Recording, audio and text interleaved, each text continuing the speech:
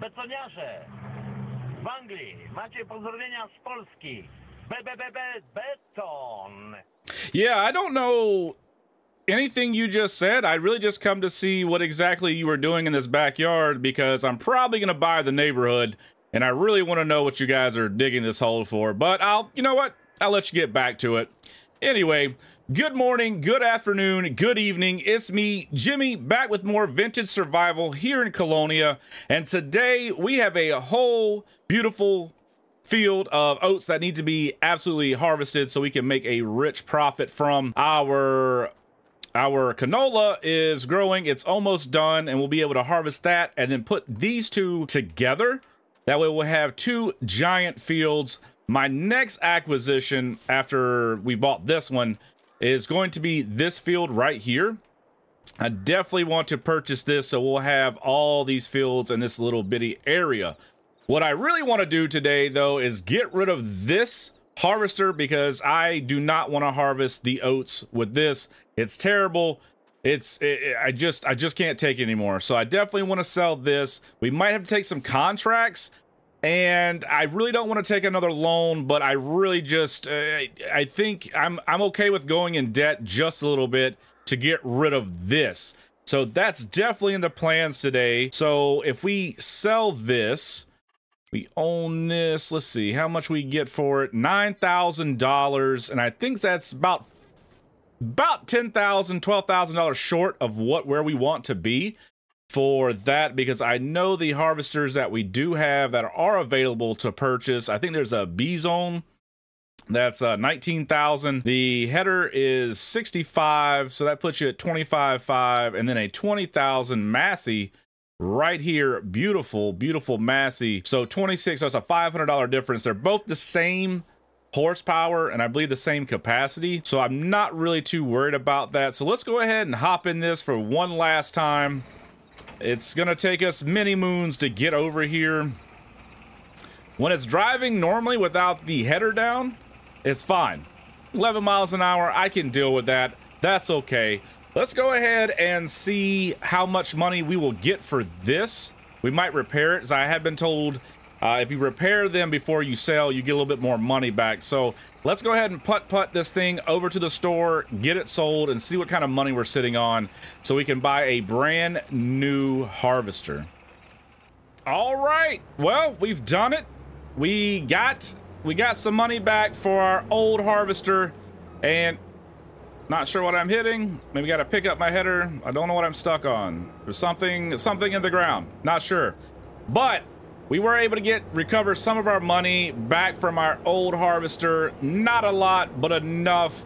And we were able to purchase this brand new, well, brand new to us, Massey Ferguson 3640. This is going to make harvesting so much better. And I feel like we can take more contracts now when it comes to harvesting. So I think that's going to do us well when we need to do, you know, contracts to pick up uh, more money. So let's go ahead and get this bad, bad boy back to the farm and see how quickly we can harvest these oats. Let's go ahead and get this header down. Got to open up. There we go.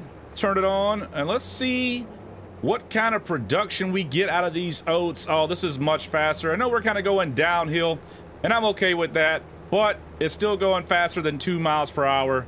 And that, and the, the, the cutting width and the working width is uh, much better. Let's go ahead and look at this beautiful, beautiful machine. Absolutely gorgeous, just soaking up these oats. But we're gonna go ahead and harvest this one real quick. That way we can see if we can pick up a contract for December until our canola is finished. Let's go ahead and get this whole patch harvested real quick.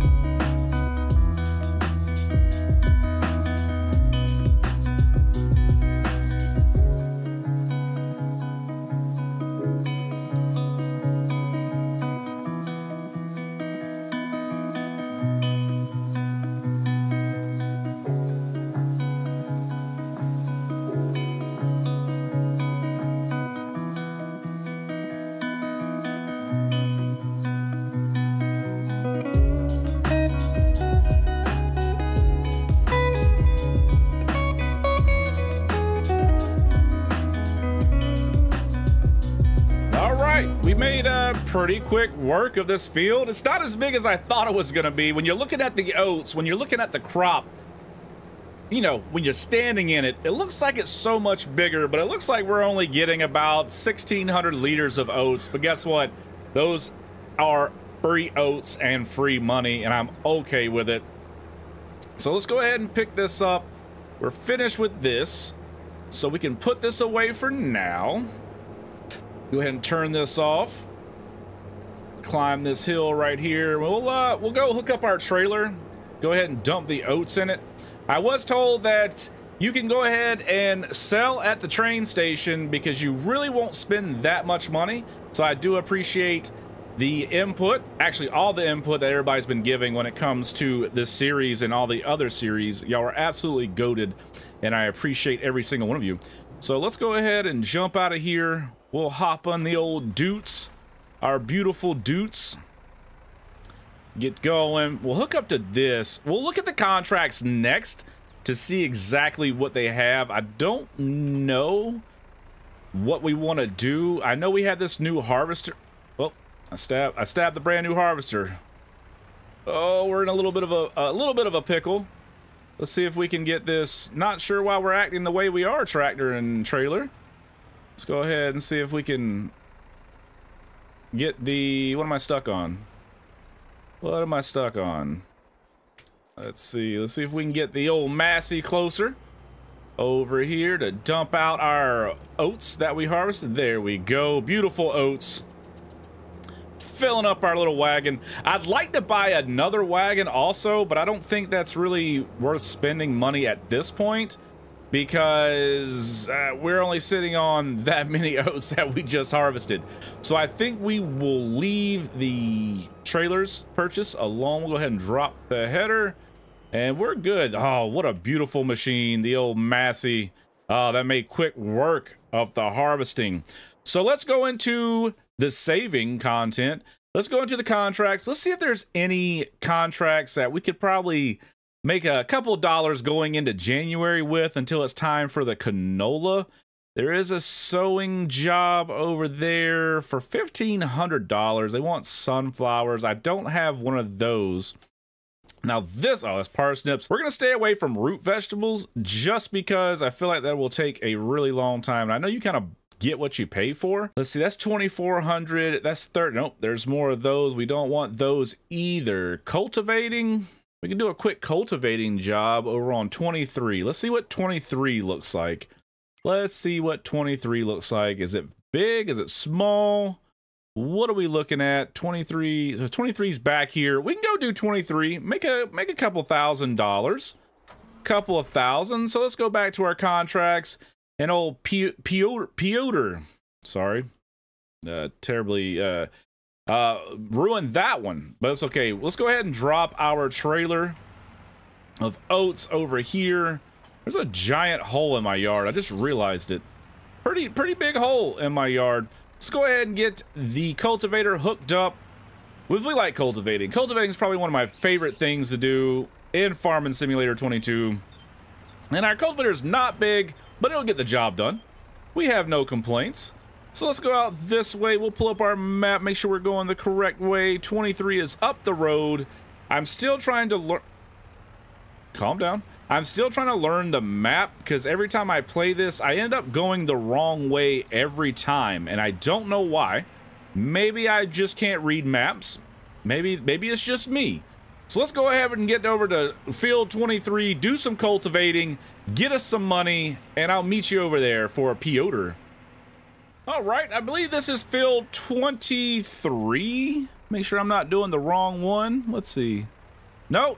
I almost tried to uh, mess somebody else's field up. That'd have been absolutely terrible of me. Okay, this isn't too bad. We can get this done pretty quick. So let's go ahead and get this field cultivated for pewter and uh, make us some quick cash. Let's go.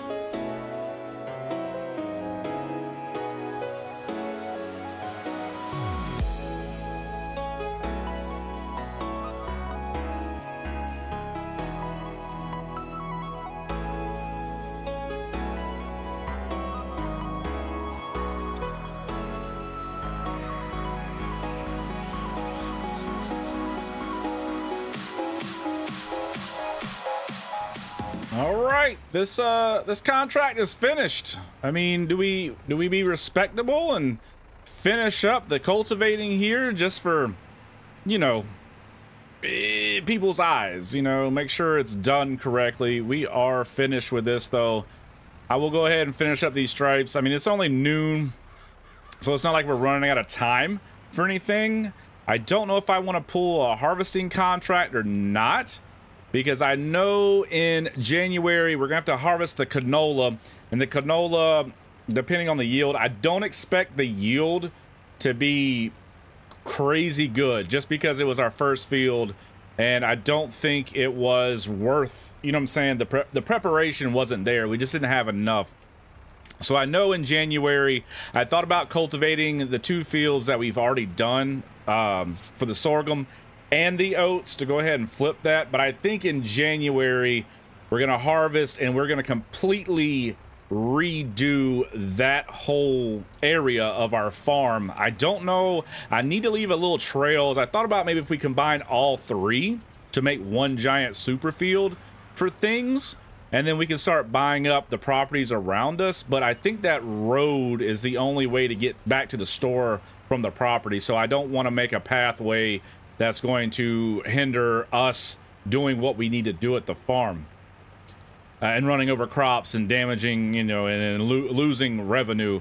So I don't think we're going to do that. I just wanted, I really thought the other field that we bought would have yielded just a little bit more, but we will completely, we're going to go crazy on those two fields. We're going to fertilize. We're going to lime.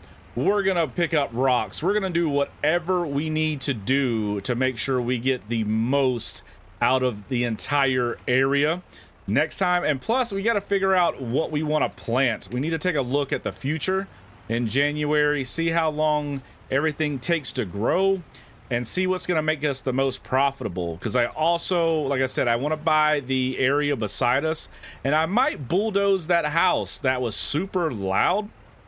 That way we can have a bigger place, maybe to put down some a chicken coop, or, you know, that way we have well, get it, get it in gear. You got it. Come on. Come on, dudes. You got it, dudes. We got rid of the Ursus because uh, it was having trouble. Come on, dudes. You got it, dudes. Get up the hill, dudes. Um, so yeah, that's that's the big plan for January. I think December a little bit slower for us just because we're waiting on our last crop to finish up. So let me finish up this little triangle. We'll get back to the farm, make a gam a game plan, and see what we need to do next month. So I will see you over at the farm. All right, we've made it back home. And yeah, I think we might shut it down for December because uh, I think there's really not much else to do. I don't want to start a harvesting contract, like I said earlier, because it takes just a little bit longer, and I don't know if we're going to run out of daylight, especially it is a brand new. It is brand new, and it's beautiful but it's still not the best. It is better than the other Vistula. But yes, January is going to be a big year for us, or big month, I guess you could say, a new year. We're going to go ahead and get all that canola, figure out the field situation, get them prepared to maximize profits because that's what we need to do to buy this entire neighborhood. This will be mine. This will be mine. I am coming after you, neighbors, and your loud music. I'm going to bulldoze your house. I'm going to take your field. Anyway, thank you so much for watching. I appreciate all the support on the channel. Please leave a like, a comment. Tell me what your favorite tractor is. If you're not a farmer, Google it. Either way, I appreciate all of you. Leave a like, leave a comment. Think about subbing to the channel. We are almost at a thousand subscribers. A thousand. And I can't do it without every single one of you. You all are amazing. Be sure to take care of yourself and good night.